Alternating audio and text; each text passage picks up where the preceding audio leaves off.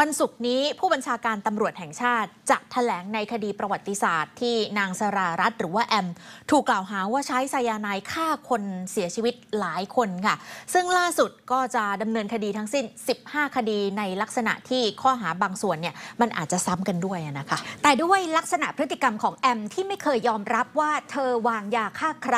และผู้เสียชีวิตที่เกิดขึ้นบางราย ก็ทำพิธีไปก่อนหน้าที่คดีจะเกิดขึ้น แอมก็มาแทงลูกในขณะที่ที่เจ้าหน้าที่กำลังแสวงหาข้อเท็จจริงสำนวนคดีนี้จะได้รับผลกระทบหรือมีช่องโหว่เป็นสำนวนอ่อนหรือไม่ ดิฉันคุยเรื่องนี้กับอายการซึ่งมีนัดรับสำนวนคดีจากตำรวจในวันนี้นะคะ คุณผู้ชมคะ ถ้าจะนับตั้งแต่เหตุการณ์ของคุณก้อยหญิงสาวที่เสียชีวิตอยู่ริมท่าน้ำที่เธอต้องการจะไปทำบุญปล่อยปลา ที่จังหวัดราชบุรีเมื่อวันที่ 14 เมษายนที่ผ่านมา และแอมสรารัตน์ อดีตภรรยาของนายตำรวจในจังหวัดราชบุรี ตกเป็นผู้ต้องหาคนสำคัญ ถูกจับกลุ่มเมื่อ 24 เมษายนที่ผ่านมา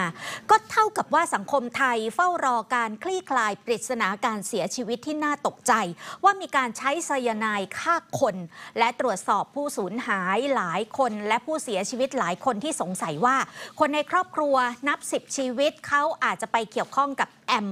รื่องนี้เกิดขึ้นมานาน 2 เดือนแล้วค่ะพลตำรวจเอกสุรเชษฐ์หักพานรองผบตร ซึ่งก็เปิดเผยว่าเป็นหนึ่งในตำรวจที่เข้าไปร่วมสอบข้อเท็จจริงจากแอมในทุกครั้ง และแอมได้ทำหนังสือร้องขอกับทางราชทันเพื่อขอพบกับรองผบตรท่านนี้ เปิดเผยนะคะว่าพยานหลักฐานค่อนข้างจะชัดเจนและเพียงพอ ถึงแม้ว่าแอมจะไม่เคยยอมรับสารภาพ ว่าเธอใช้ไซยาไนด์ฆ่าคนค่ะ เมื่อไซยาไนด์นะครับเอ่อ ได้ถึงมือแอมนะครับเอ่อทันทีนะครับศพหลายศพก็เกิดขึ้นโดยทันที เพราะฉะนั้นมันเป็นสิ่งที่สอดคล้องว่าเมื่อเขาสั่งซื้อไซยาไนด์นะครับ ทันทีเนี่ยเอ่อเกิดศพขึ้นเอ่อในในทันทีนะครับทันทีแล้วหลายศพนะครับค่ะนะเพราะฉะนั้นเอ่อส่วนนี้มันก็จะเจือสมทั้งหมดนะครับคือคืออย่างนี้คือไซยาไนด์ทั้งหมดอะนะครับ ต้องเรียกว่าเขาใช้ไซยาไนด์ทั้งหมด ถามว่าใช้ไซยาไนด์เพราะอะไร เพราะว่าเอ่อจากการเอาสภาพศพให้ถึงแม้ว่าเอ่อ ศพเนี่ยไม่ได้มีการส่งชันสูตร แต่จากการเอาภาพถ่ายศพนะครับซึ่งมูลิธิบอยตึ้งต่างๆ เก็บเอาไว้ ให้หมอยืนยันเนี่ยหมอก็ยืนยันว่าลักษณะการตายแบบนี้เกิดจากการใช้สารพิษ ดิฉันสอบถามไปที่รองโฆษกอายการสูงสุดค่ะ เกี่ยวกับประเด็นที่เธอต้องสูญเสียลูกไปในระหว่างที่ถูกควบคุมตัวอยู่ในเรือนจำนะคะ การที่เธอยอมรับเรื่องของไม่เคยยอมรับเรื่องของการวางยากับคนที่มาเจอกัน แล้วหลังจากนั้นก็เสียชีวิต เทียบภาพศพเพื่อที่จะเชื่อมโยงกับการใช้สารพิษในกรณีอื่น ๆ ที่ญาติกำลังมีข้อสงสัย ปมประเด็นเหล่านี้จะทำให้สำนวนคดีอ่อนหรือไม่ค่ะ คงคงอย่าอย่ายังไม่ต้องกังวลนะครับ เพราะว่าในอดีตที่ผ่านมาหลาย ๆ คดีนะครับ ไม่มีประจักษ์พยานเลยมีแต่พยานแวดล้อม แต่ถ้าพยานหลักฐานมันพอฟ้องได้เนี่ยนะครับพนักงานอัยการก็ยื่นฟ้องแล้วเราก็เคยใช้แต่พยานแวดล้อม ซึ่งไม่มีประจักษ์พยานศาลก็เคยลงโทษมาจำนวนมากมายแล้วนะครับ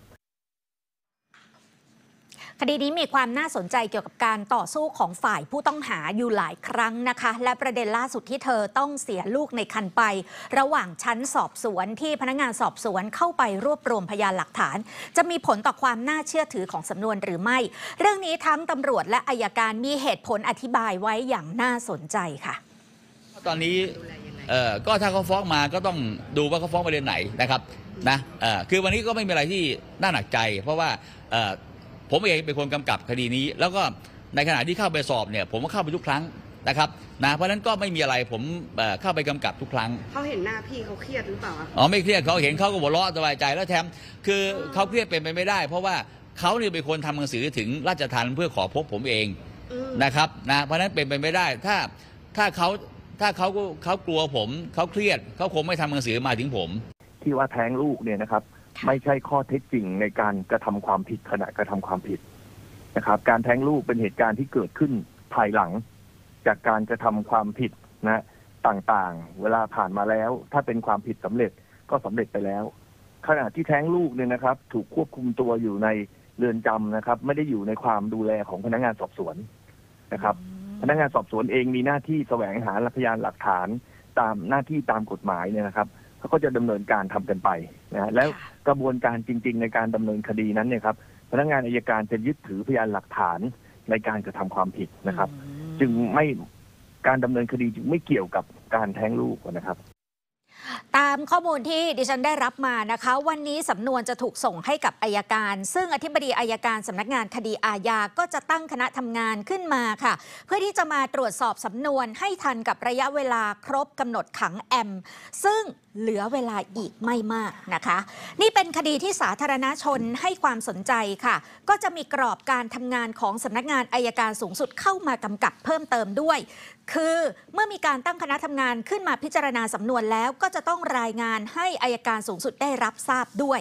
ซึ่งในวันศุกร์นี้นะคะ 10นาฬิกาผบตรจะแถลงสรุปสำนวนก่อนส่งฟ้อง แต่ในทางการสอบสวนจะยังคงเดินหน้าต่อนะคะ มีทั้งเว็บพนัน เทรดเดอร์ โรงงานที่คาดว่าจะเป็นจุดของการจำหน่ายสยานายเจ้าหน้าที่รัฐ คนใกล้ชิดของแอมที่ไม่ใช่เพียงแค่สามีที่เป็นนายตำรวจเท่านั้น แต่ตำรวจเนี่ยยังพูดถึงทนายความที่ตกเป็นผู้ต้องหาทั้งหมดนี้จะยังคงเดินหน้าต่อไปค่ะ